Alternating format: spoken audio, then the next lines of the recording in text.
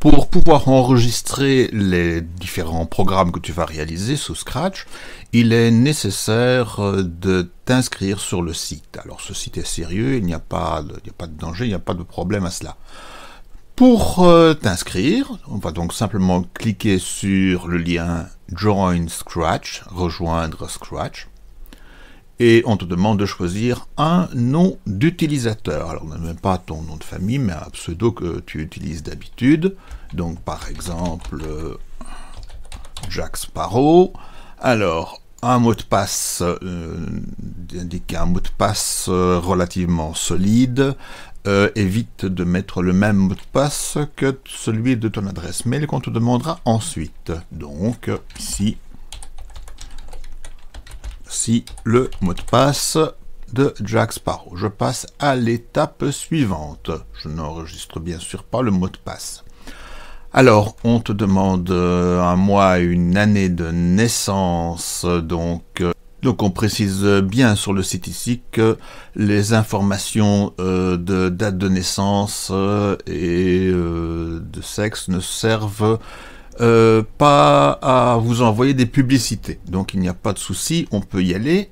Donc euh, vous indiquez votre année de naissance, le sexe et le pays dont vous venez.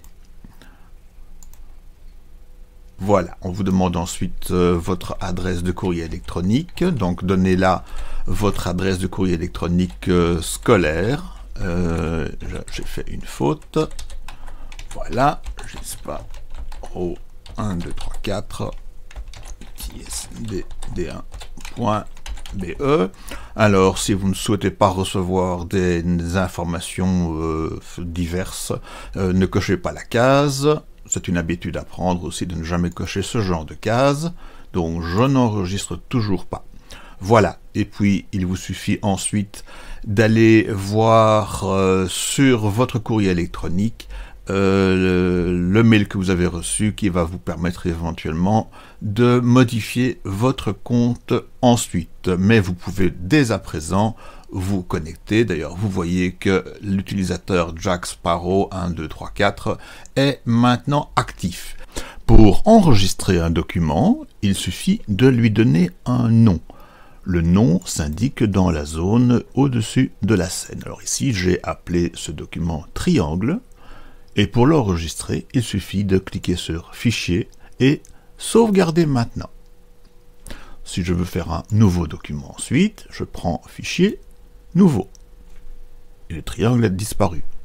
Puis-je le retrouver? Oui, très facilement. Je vais de nouveau sur Fichier, et je vais dans Aller à Mes projets.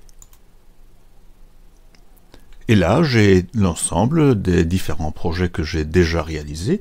Alors, vous voyez qu'il y a le projet triangle qui est là. Si je clique sur Voir à l'intérieur, le revoilà.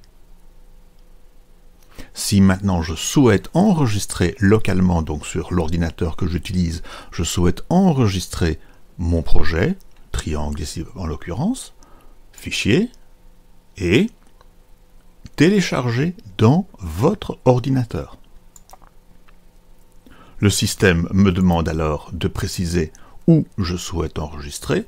Alors peut-être est-il intéressant de faire un dossier rien que pour les projets Scratch et vous pouvez l'enregistrer à cet endroit-là. À partir de ce moment-là, il est disponible localement et vous ne devez plus être connecté à l'Internet pour pouvoir accéder à votre programme.